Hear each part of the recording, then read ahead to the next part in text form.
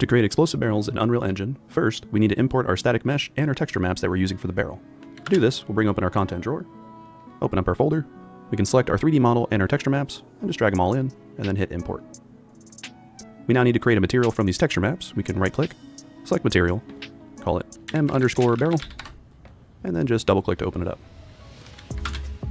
We then just shift select all our texture maps, drag them in, and then we just have to assign out the pins.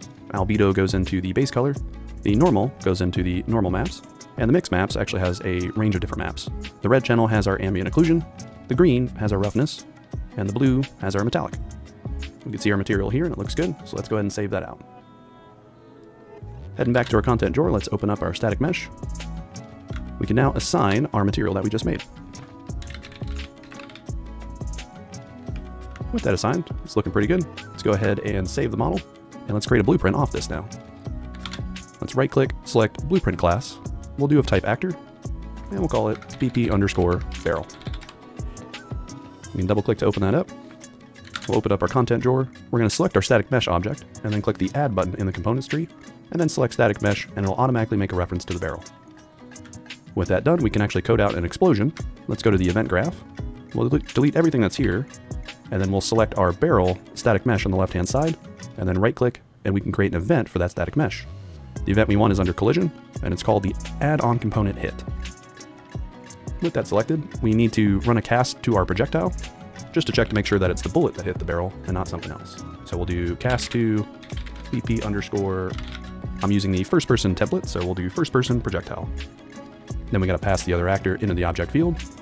Once we checked if we've been hit by a bullet, we can then spawn an explosion. So we'll do spawn emitter at location. And then the emitter we're going to select is part of the starter content called explosion.